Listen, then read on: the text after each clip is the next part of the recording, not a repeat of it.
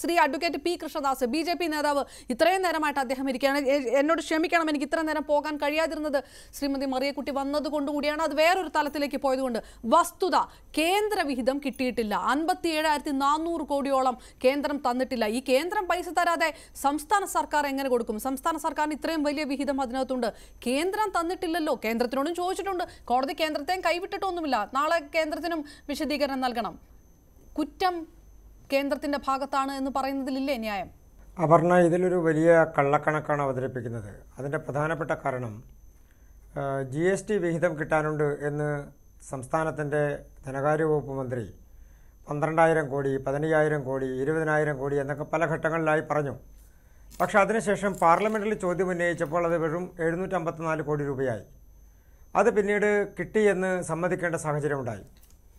പിന്നീട് അതിനുശേഷം ഓരോ ഘട്ടങ്ങളിലായി അത് കർഷകരുടെ നെല്ല് സ്വരൂപിക്കുന്നതിന്റെ കാര്യത്തിലാണെങ്കിലും അവർക്ക് കൊടുക്കുന്നതിന്റെ കാര്യത്തിലാണെങ്കിലും തൊഴിലുറപ്പ് പദ്ധതിയുമായി ബന്ധപ്പെട്ടുകൊണ്ടാണെങ്കിലും കേൾക്കാൻ കഴിയുന്നില്ലേ? ഓ ഉണ്ട്. പറഞ്ഞോളൂ. കേട്ടുകൊണ്ടിരിക്കുകയാണ്. കേൾക്കാൻ കഴിയുന്നില്ലേ? ഉണ്ട്. തീർച്ചയായും. Okay okay. ഓക്കെ. അത് തൊഴിലുറപ്പ് പദ്ധതിയുമായി ബന്ധപ്പെട്ടുകൊണ്ടാണെങ്കിലും മറ്റ് ഏത് മേഖലയിലേക്ക് എടുത്ത് നോക്കിക്കഴിഞ്ഞാലും എപ്പോഴും കേന്ദ്ര ഗവൺമെന്റിൽ നിന്ന് ഞങ്ങൾക്ക് പണം കിട്ടാനുണ്ട് എന്നൊരു വാദം ഉന്നയിക്കുക എന്നുള്ളതിനേക്കാൾ അപ്പുറത്ത് കണക്കുകൾ നിരത്തിക്കൊണ്ട് ഇത്ര പൈസ ഇത്ര പണം ഞങ്ങൾക്ക് ആ ഹെഡിൽ കിട്ടാനുണ്ട് ഇത്ര പണം കിട്ടാനുണ്ട് എന്ന് പറയുന്നൊരു സാഹചര്യം സംസ്ഥാന ഗവൺമെന്റിന്റെ ഭാഗത്തുനിന്നില്ല. അങ്ങനെ ഒരിക്കൽ അവർ പറഞ്ഞു അങ്ങനെ ഒരിക്കൽ പറഞ്ഞപ്പോൾ ബഹുമാനപ്പെട്ട കേന്ദ്ര ധനകാര്യ വകുപ്പ് മന്ത്രി വന്ന് അത് കൃത്യമായി ഇന്നിന്ന ഹെഡിലുള്ള പൈസകൾ കൃത്യമായി കിട്ടിയിട്ടുണ്ട് സംസ്ഥാനത്തിന് കൊടുത്തിട്ടുണ്ട്. കിട്ടാനുള്ള പണത്തിന്റെ പ്രധാനപ്പെട്ട കാരണം ഒരേ ഒരു കാര്യത്തിൽ മാത്രമാണ് സംസ്ഥാനത്തിന് പണം കിട്ടാനുണ്ട് എന്ന് പറയുന്നത്. അത് രണ്ടായിരത്തി ഇരുപത്തിരണ്ട് മാർച്ച് മാസം മുപ്പത്തി ഒന്നാം തീയതി അവസാനിച്ച നമ്മൾ അപേക്ഷ കൊടുക്കേണ്ട സംസ്ഥാനം എന്നുള്ള നിലയ്ക്ക് അപേക്ഷ കൊടുക്കേണ്ട അപേക്ഷ നൽകാത്തത് കൊണ്ട് നമ്മൾക്ക് കൊടുക്കാൻ വേണ്ടി കഴിഞ്ഞിട്ടില്ല എന്നുള്ളത് മാത്രമാണ്. അതിനപ്പുറത്തേക്ക് കേന്ദ്ര ഗവൺമെന്റിൽ നിന്ന് ഏതെങ്കിലും ഒരു പണം ഏതെങ്കിലും ഒരു തരത്തിൽ കിട്ടാനുണ്ട് എന്നുള്ളൊരു വാദം സംസ്ഥാനത്തിനുള്ളത് രാഷ്ട്രീയ വാദം മാത്രമാണ്. അല്ലാതെ യഥാർത്ഥത്തിൽ അങ്ങനെ ഒരു വാദമില്ല. ഇപ്പോൾ സുപ്രീം കോടതിയെ സമീപിച്ചുകൊണ്ട് അങ്ങനെ ഒരു വാദം ഉയർത്താൻ വേണ്ടി ശ്രമിക്കുന്നു. അതിന്റെ പിന്നിലുള്ള രാഷ്ട്രീയം എന്ന് പറയുന്നത് കേന്ദ്ര ഗവൺമെന്റിൽ നിന്ന് കോടിക്കണക്കിന് രൂപ കിട്ടാനുണ്ട് എന്ന് പറയുന്നതിന്റെ ഒരു പ്രധാനപ്പെട്ട കണക്കായി ഇവർ സൂചിപ്പിക്കാൻ വേണ്ടി ആഗ്രഹിക്കുന്നത്. തൊണ്ണൂറ്റി ഒന്ന് മുതൽ തൊണ്ണൂറ്റി അഞ്ച് വരെയുള്ള കാലഘട്ടത്തിലെ പത്താം ധനകാര്യ കമ്മീഷന് അതുമായി ബന്ധപ്പെട്ടുകൊണ്ടുള്ള കണക്കുകളെ ഇപ്പോഴത്തെ കണക്കുകളുമായി തുലനം ചെയ്യാൻ വേണ്ടി ആഗ്രഹിക്കുകയാണ്. അതിന്റെ അടിസ്ഥാനത്തിലാണ് പത്താം ധനകാര്യ കമ്മീഷൻ ഞങ്ങൾക്കത് കിട്ടിയിരുന്നു. പതിനഞ്ചാം ധനകാര്യ കമ്മീഷൻ ഇത് കിട്ടുന്നില്ല എന്ന് പറയുന്നൊരു സാഹചര്യമാണ്.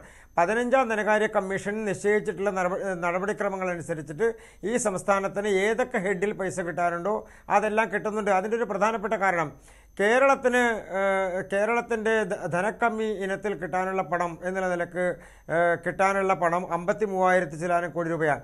അത് കേരളത്തിന് കിട്ടിക്കഴിഞ്ഞിരിക്കുന്നു. അഞ്ച് വർഷക്കാലം അത് കിട്ടാൻ രണ്ടായിരത്തി പതിനേഴ് മുതൽ രണ്ടായിരത്തി ഇരുപത്തിരണ്ട് വരെ അത് നമുക്ക് കിട്ടിയിട്ടില്ല എന്നൊരു വാദം നമുക്കില്ല. അത് മുഴുവനായി നമുക്ക് കിട്ടിയിരിക്കുന്നു. അപ്പൊ കേന്ദ്ര ഗവൺമെന്റിൽ നിന്ന് ആ തരത്തിൽ കിട്ടേണ്ട പണം. ഒരു ഹെഡിൽ പോലും പണം കിട്ടാനില്ല. പറഞ്ഞു വരുന്ന ഈ കോടി കണക്കുണ്ടല്ലോ.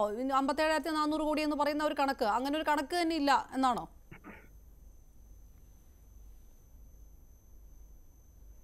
അല്ല അത് രണ്ടും രണ്ടാണ്. ഇവർ പറയുന്ന അൻപതിനായിരത്തിന് മേലെയുള്ള കോടിയും കേന്ദ്ര ഗവൺമെന്റ് രണ്ടായിരത്തി പതിനേഴ് മുതൽ രണ്ടായിരത്തി ഇരുപത്തിരണ്ട് വരെ കൊടുത്ത പണവും രണ്ടും രണ്ടാണ്.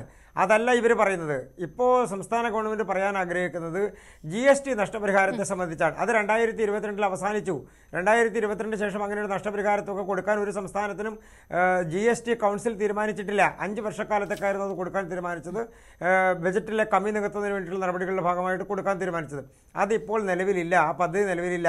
പക്ഷേ ഇപ്പോഴും കേരളം ആവശ്യപ്പെടുന്നത് ആ ഇനത്തിൽ ഏതാണ്ട് പന്തിരായിരം കോടി രൂപ കിട്ടാനുണ്ട് എന്നാണ്. എണ്ണായിരം കോടി കിട്ടാനുണ്ട് പന്തിരായിരം കോടി കിട്ടാനുണ്ട്. ഇങ്ങനെ കണക്ക് പറയുകയാണ്. മറ്റൊരു പ്രധാനപ്പെട്ട കണക്ക് പറയുന്നത് ജി എസ് ടി വിഹിതം നഷ്ടപരിഹാര വിഹിതം രണ്ട് വർഷത്തെ കൂടി വർദ്ധിപ്പിക്കണമെന്നുള്ള. അത് ഒരു സംസ്ഥാനത്തിനുമില്ല. ഒരു സംസ്ഥാനത്തിനും ഇല്ലാത്ത നമുക്ക് ഇങ്ങനെ കിട്ടും? രണ്ടാമത്തത് നമ്മൾക്ക് അൻപത്തി മൂവായിരം കോടി കിട്ടി രണ്ടായിരത്തി പതിനേഴ് മുതൽ രണ്ടായിരത്തി ഇരുപത്തിരണ്ട് വരെ എന്ന് പറയുന്ന സമയത്ത് ഏകദേശം പകുതിയോളം സംസ്ഥാനങ്ങൾക്ക് ഒരു വിഹിതവും കിട്ടാത്ത ആൾക്കാരുണ്ട്. അപ്പോൾ ആ സംസ്ഥാനങ്ങളെ സംബന്ധിക്കുന്ന കാര്യങ്ങളോ?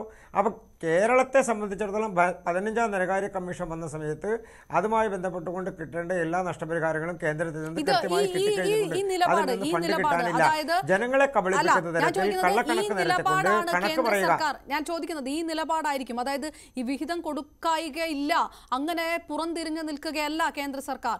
സംസ്ഥാനം പറയുന്ന ഈ വാദത്തിൽ കഴമ്പില്ല എന്ന രീതിയിലുള്ള ഒരു നിലപാടായിരിക്കും നാളെ കോടതിയിൽ കേന്ദ്രം അവതരിപ്പിക്കുക. അറിയിക്കുക. അങ്ങനെയാണ് താങ്കളൊരു ഒരു പ്രതീക്ഷ അല്ലേ?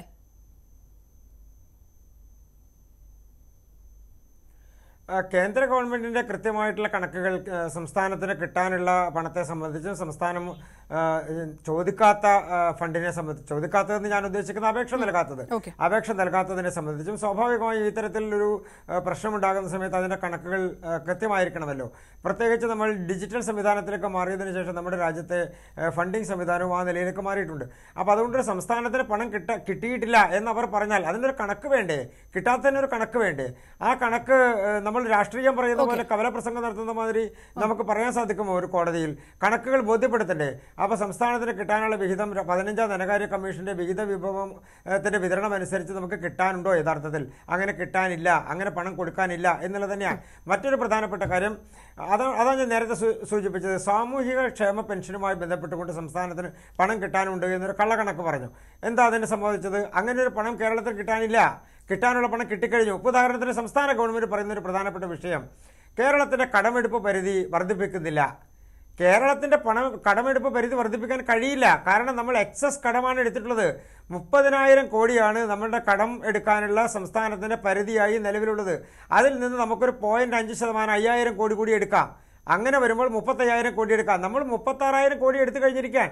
പിന്നെ എങ്ങനെയാണ് നമ്മൾക്ക് കടമെടുപ്പിന്റെ പരിധി വർദ്ധിപ്പിക്കാൻ വേണ്ടി കഴിയുക?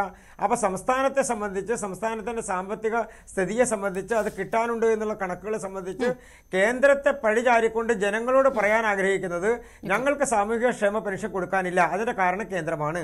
ഞങ്ങൾക്ക് കെ എസ് ആർ ടി സിയുടെ ശമ്പളം കൊടുക്കാനില്ല അല്ലെങ്കിൽ പെൻഷൻ കൊടുക്കാനില്ല. അതിന്റെ കാരണം കേരളമാണ് കേന്ദ്രമാണ്. എന്നൊക്കെ പറഞ്ഞാൽ ഇതൊക്കെ ആരോട് പറയാൻ കൊള്ളാം? സാമൂഹികമായി നമുക്ക്. ജനാധിപത്യ പറയാൻ പറ്റുന്ന കാര്യങ്ങളാണോ? ഉദാഹരണത്തിന് K S R T C നഷ്ടത്തിൽ പോകുന്നത് കേന്ദ്ര ഗവൺമെന്റ് പണം കിട്ടാത്തതുകൊണ്ടാണെന്ന് പറയാൻ ശ്രമിക്കുന്നത് പോലെയാണിത്. ഓക്കെ ഞാൻ തിരികെ എത്താം.